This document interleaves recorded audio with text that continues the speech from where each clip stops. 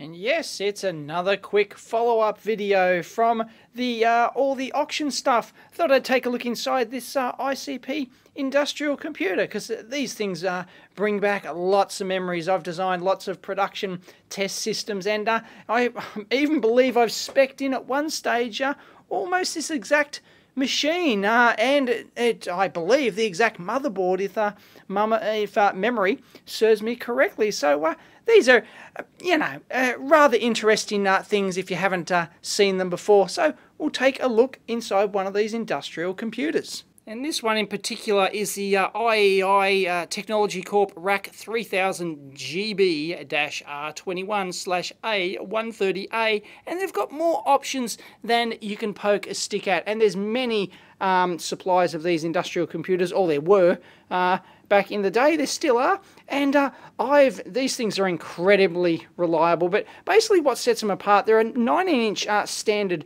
rack. Of course, this one looks like like a five rack unit uh, high one, and uh, they're full depth. Because take a look at the uh, full length card in there and it's still got room for a uh, second hard drive here um, plus the fans and filters we'll take a look at. This one comes with a uh, CD drive. I don't know if a hard drive is installed. It's got a docking uh, bay down there. I don't have the key so I uh, haven't been able to pull that out yet. But basically what defines these things are the, the sheer number of slots I mean this one has 14 uh, slots on it, both a combination of um, old school uh, ISA, of course, plus uh, PCI, because this is the uh, technology of the day.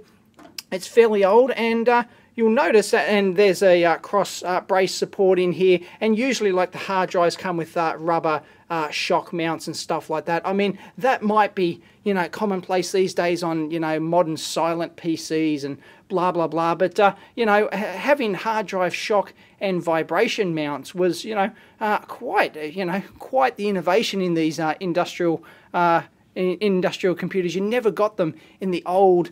Um, you know, uh, they just weren't really an option in uh, old PCs. Nobody cared, you know, the slap together PCs. But these industrial machines, incredibly, incredibly reliable. I've had some of these working for greater than 10 years continuous, and that's on the same power supply. This is an IEI uh, branded power supply. I'm not actually sure if they uh, do it themselves or they get somebody else to make it, but they're incredibly reliable.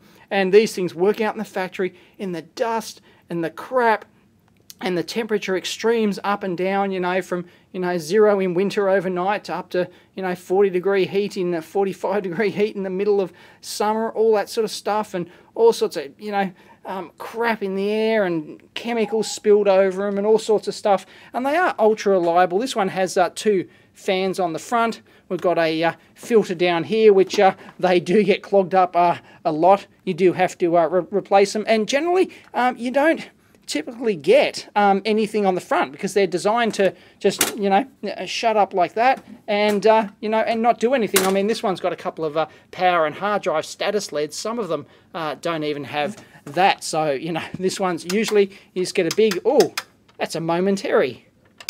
It's a momentary switch. Check it out. That's not actually a proper clunking switch. So they've put a real, well, it's a real clunking switch, but it's uh, it's not actually uh, switching the main. So that's that's unusual. I don't uh, remember having one with uh, that before. And basically what we've got here is the main motherboard down here. Check out all the uh, PCI slots. No, this is not PC, not the days of PCI Express, folks. This is uh, PCI, tons of PCI slots. Why do you need 14 slots? Well, these industrial machines typically uh, control industrial machinery. And like, you know, I've almost fully kitted out these. You'll have, you know, multi-channel data acquisition cards. You know, National Instruments cards are pretty much, uh, you know, standard fare in these uh, kind of things you'll find. Shame I didn't get any National Instruments cards in this one. This one looks like just a serial machine all it's got is fitted out with uh, a couple of extra uh, serial port uh, cards in here, a comms card which I'll take out and, and we'll take the motherboard out and we'll have a closer look at that. We've got a, um, a, uh, a, a, bar across the top to hold the uh, cards in. They usually hold those in with rubber mounts and stuff like that. Um, really quite well designed and of course the chipset down in there is a PCI expansion chipset because the uh, standard chipset on the motherboard down in there obviously can't drive, you know, like a 14 PCI slots. And by the way, yes, there is a couple of ISA slots over there. And that's what these motherboards are designed to do. I mean, you won't find these, this configuration, in a regular PC. Like there's an ISA slot at the you know, towards the rear, and then there's the PCI slot here.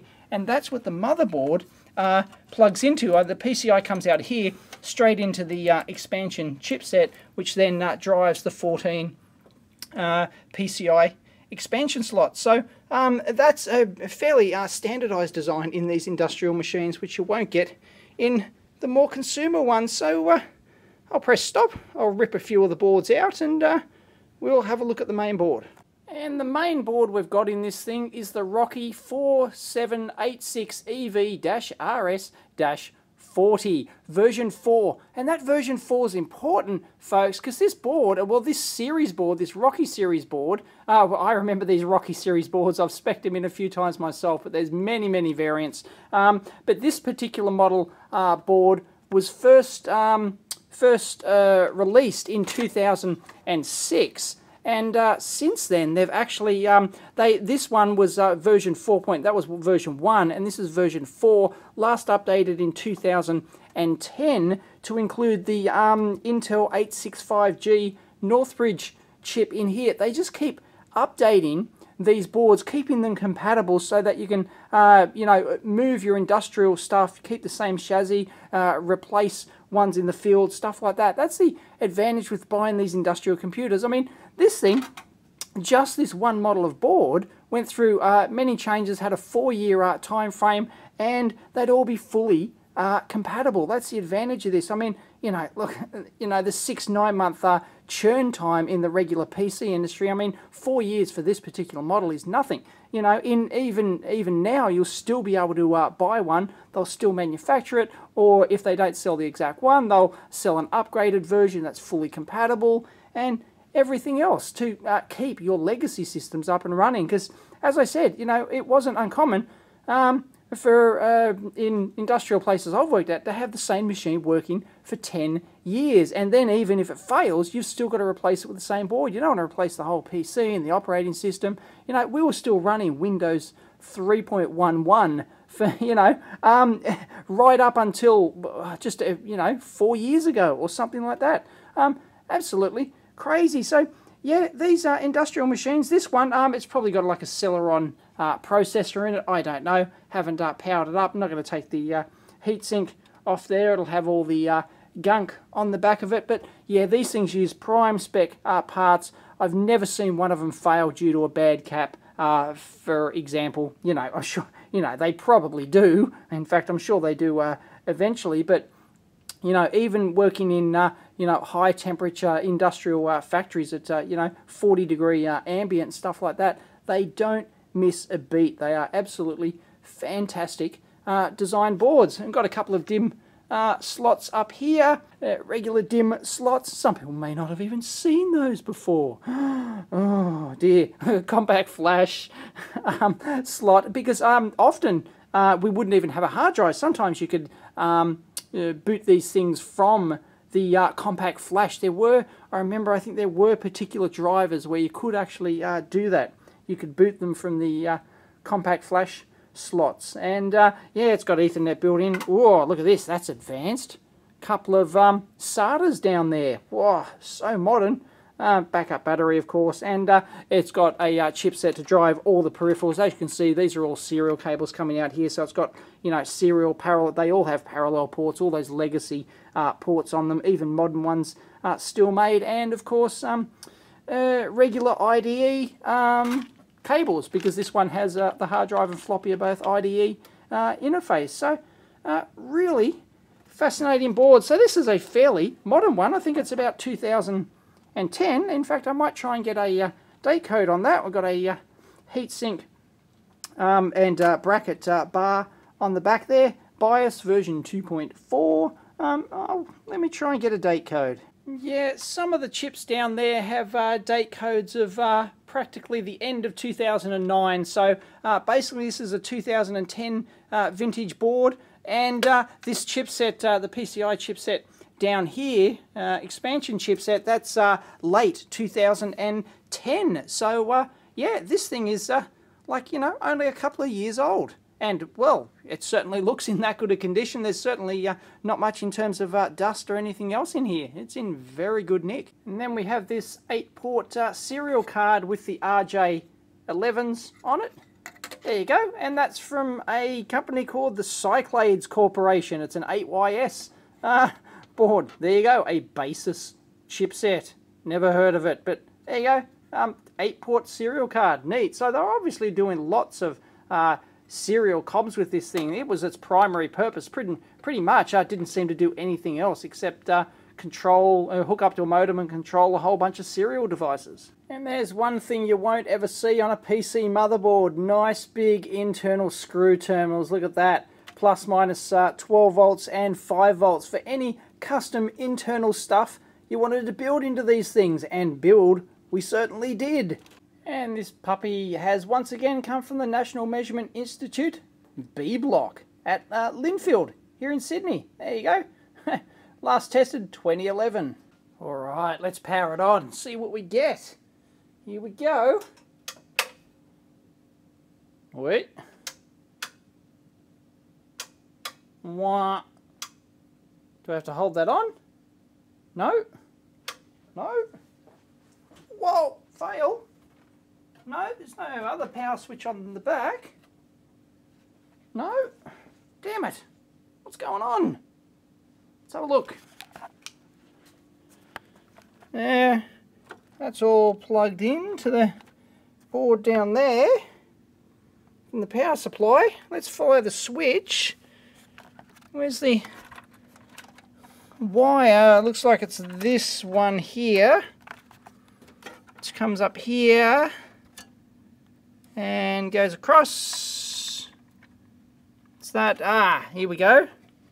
Here we go. Hey, there we go. So the switch doesn't go over to the power supply, goes to the motherboard, and then that PS on is labelled this wire. So this one comes out, and oh, oh, I must have accidentally pulled that out when I uh, was moving the card out. There we go. I think there's a yeah, uh, it's PS on, is it? There it is.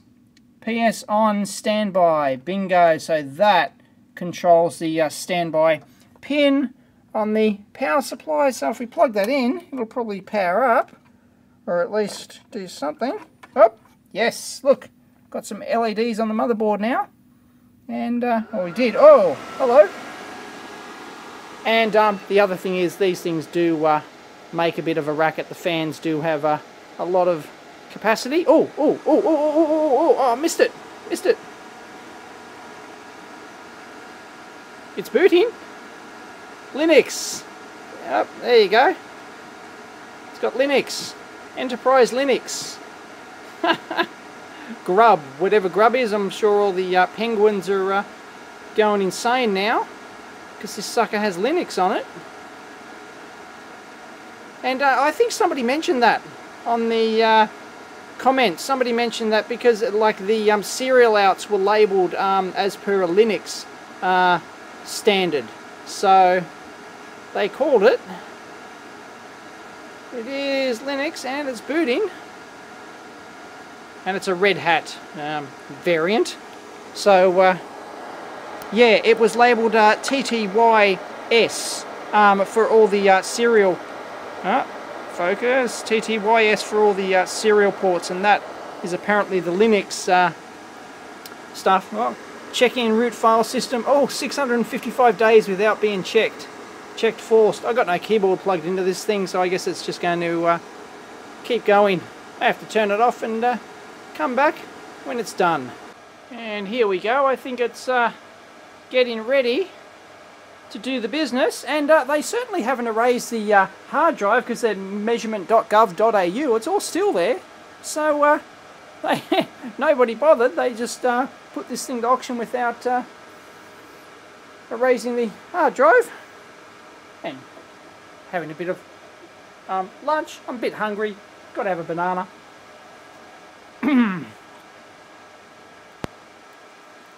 Welcome to Kudzu.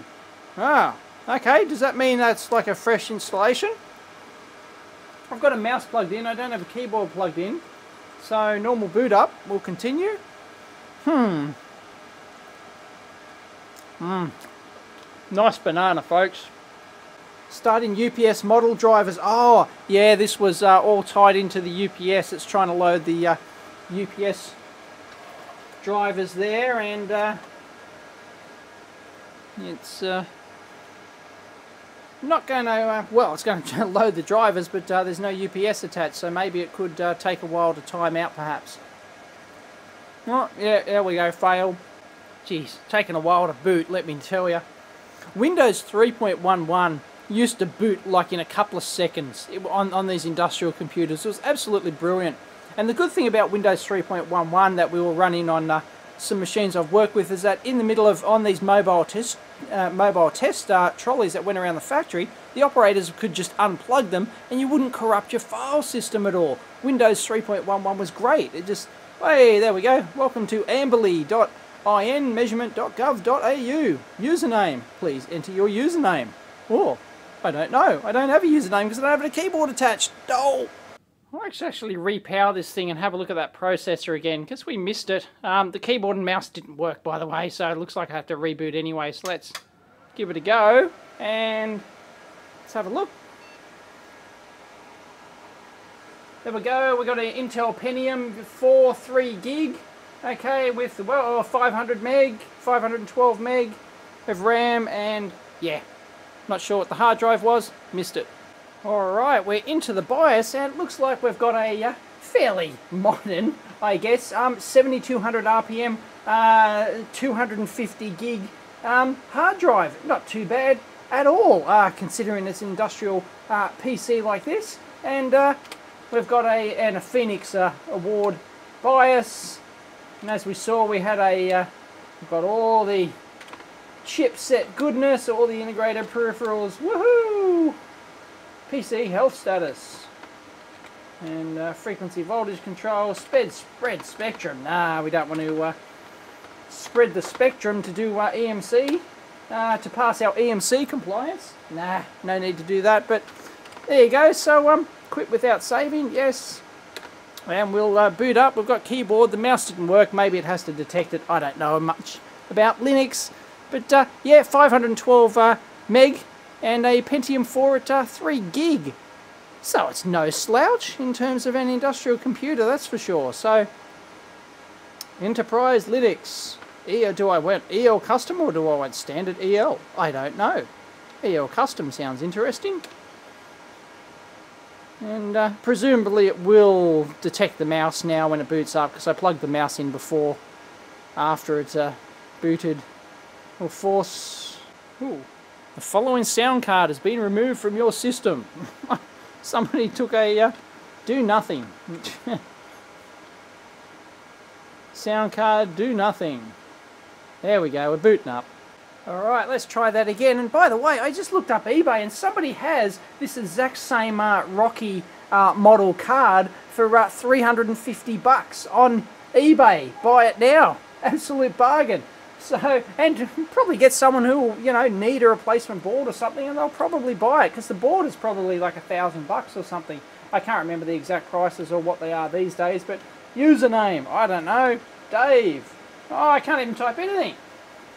No, the mouse, uh, bloody mouse doesn't work. It's plugged into the USB, it didn't detect it. Bloody Linux. Type, eh, like the keyboard worked before. Why doesn't it work now? Unbelievable. Crap. Ah, I give up.